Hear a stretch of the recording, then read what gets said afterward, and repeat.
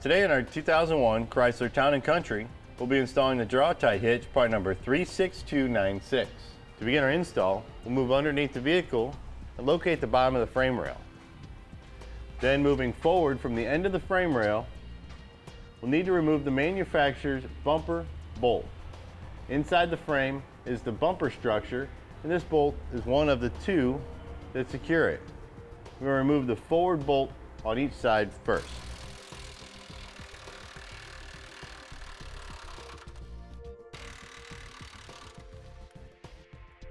Next, into the weld nut where we just removed the bolt, we're going to install a two-way threaded stud.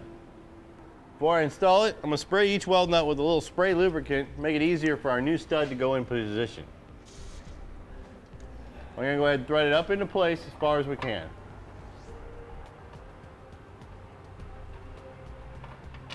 Once we have the driver's side done, I'll move over to the passenger side and repeat the same process. Next, we'll remove the second fastener or rear fastener here at the bottom of the frame. Keep in mind with this install, each process we do here on one side, we get repeated identically on the opposite side.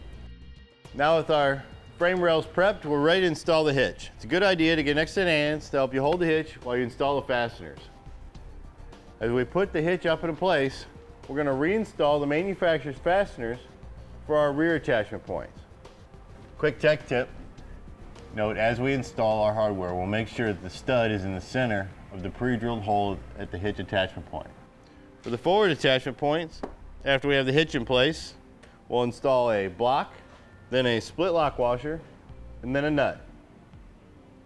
Noting, as we tighten it down to make sure the threaded bolt will tighten down all the way until it meets the bottom of the frame. Now once we have all the hardware in place, we can go ahead and tighten it down. All right, now that we have it tightened down, we'll go ahead and torque the specifications as indicated instructions. Now with the hitch tightened down and torque specifications, we're ready to hit the road. And that does it for the install of our Draw-Tite hitch, part number 36296 on our 2001 Chrysler Town & Country.